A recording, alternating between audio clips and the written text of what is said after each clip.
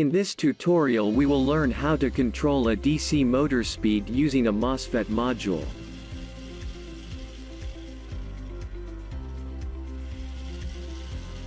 For this project you will need a MOSFET module, potentiometer, jumper wires, DC motor, Arduino and Visuino software. Wire everything according to this schematic. Go to visuino.eu and download and install Visuino software. Start Visuino and select the Arduino board, in our case it's Arduino Uno.